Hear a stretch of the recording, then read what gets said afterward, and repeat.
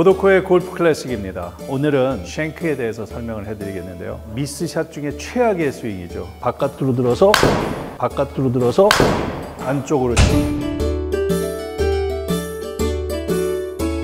아, shank는 아마 대부분 다 아실 거예요. neck 부분에 공이 맞아서 공이 오른쪽으로 튀어가는 겁니다. 스위스팟의 안쪽에 맞기 시작하다 보면 언젠가는 shank에 나가게 되는데 최악입니다. 미스샷을 하고 나면 너무 당황하게 되고 어떻게 해야 될지 모르고 필드에서 어떻게 하면 shank를 방지할 수 있는지 그 응급 처치에 대해서 말씀을 드리겠습니다. shank는 말씀드린 것처럼 이유는 여러 가지가 있을 수 있어요. 다운 스윙 plane이 굉장히 flat하게 내려오면서 채가 앞으로 나갈 수도 있고 아니면 초보들 같은 경우는 스윙을 하면서 체중이 앞쪽으로 쏠리면서 원래 있던 자리에 클럽 헤드 헤드가 제대로 오지 못하고 약간 앞쪽으로 가면서 shank가 나는 경우도 있는데요. 두 가지를 한꺼번에 잡을 수 있다 그러면 어떤 방법이 좋으냐면요. shank가 난다 그래서 공에서 자꾸 멀어지면 멀어질수록 오히려 shank가 더 날 수가 있기 때문에 어드레스를 하고 나서 평상시보다는 한 반 개 정도 멀리 쓰는 거는 물론 필요하고요. 조금 멀리 쓴 상태에서 팔을 길게 뻗어서 아예 그냥 클럽의 neck 부분에다가 어드레스를 하고 이 상태에서 스윙을 하는데요. 채를 바깥으로 들어서 그리고 안쪽으로 toe로 때리는 겁니다. 팔자 스윙처럼 하는 건데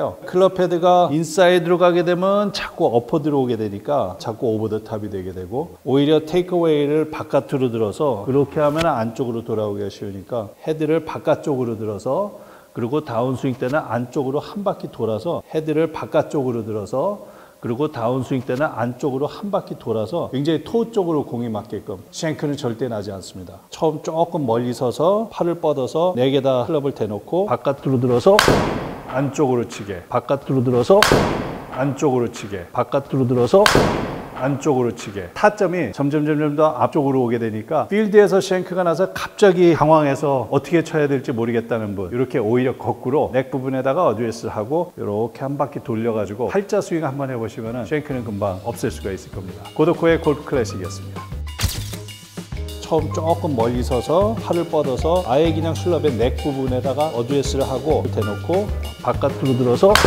안쪽으로 치게 바깥으로 들어서 안쪽으로 치게 바깥으로 들어서 안쪽으로 치게